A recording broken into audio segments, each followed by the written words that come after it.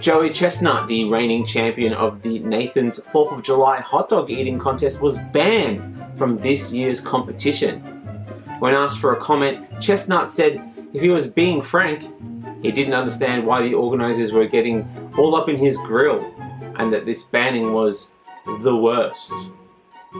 The ban was put in place after Chestnut signed a deal with not only a rival brand, but a brand of vegan sausages. Now, don't worry, vegans, I won't be making any lazy jokes about vegan sausages being inedible. That's not how we roll here. This whole thing has thrown off a lot of people's Independence Day plans because they were really rooting for Joey. Chestnut said he didn't understand why there was a ban on this vegan brand, as like all hot dogs in this competition, none of them contained any actual meat. And while he said this whole situation was disappointing, just like the hot dogs that made him famous, Joey had no beef. See? The vegan jokes weren't so bad after all.